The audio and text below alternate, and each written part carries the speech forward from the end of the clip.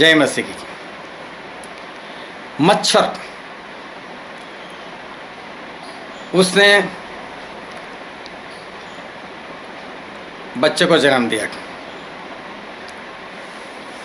बच्चा नया नया उड़ने सीख गया और उसने अपने माता पिता से कहा कि क्या मैं कुछ उड़ कर आऊँ? वह ठीक है, उड़ कर आ। कुछ पाँच मिनट, दस मिनट के बाद वो वापस आया।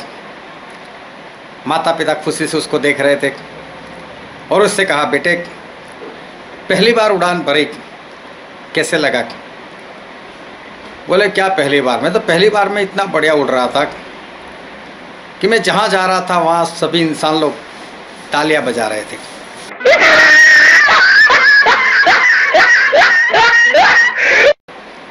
ये तो चलो एक जोक था कि तालियाँ बजाने का मतलब उसको मारने का प्रयत्न कर रहे थे। लेकिन हम कुछ सीखते इस बात से। एक मच्छर जब तक ज़िंदा रहता है, तब तक इंसान का खून पीता है।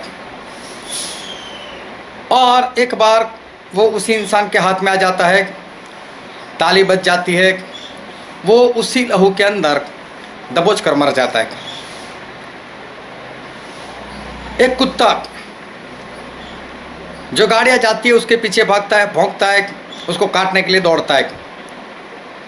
और एक दिन उसी गाड़ी के नीचे आ जाता है, मर जाता है।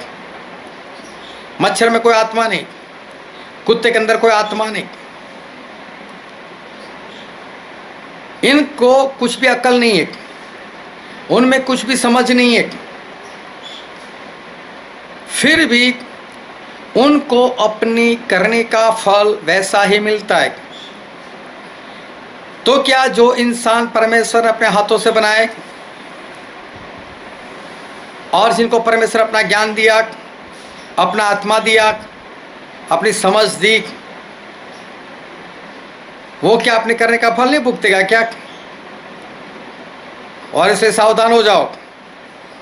जैसा करोगे, वैसा पाओगे। दूसरा कुरंथी, पांचवा अध्याय दस वचन कि इस शरीर में रहकर जैसा भी काम किया होगा, भला या बुरा, उसका फल भुगतने के लिए परमेश्वर प्रभु के सिंहासन के सामने खड़ा रहना ही पड़ेगा। और इसलिए पापों की क्षमा पालो सच्चा बपतिस्मा ले लो, पापों को धो लो, प्रभु के लहू से शुद्ध हो जाओ और अपने करने को सुधार लो, ताकि आपको कोई बुरा फल ना मिले। परमेश्वर आपको आशीष दे। और इसी तरह से परमेश्वर के ज्ञान में बढ़ने के लिए मेरे यूट्यूब चैनल को सब्सक्राइब करो। साथ में जो बेल आइकन, उसको टच करो, ताकि परमेश्वर के ज्ञान में आप बढ़ते जाओ। वीडियो अच्छा लगे तो शेयर करो लाइक करो। और अच्छा ना लगे तो डिसलाइक कर दो। लेकिन वीडियो पूरा देखो, ताकि परमेश्वर के ज्ञान में बढ़ते जाओ। आमीन।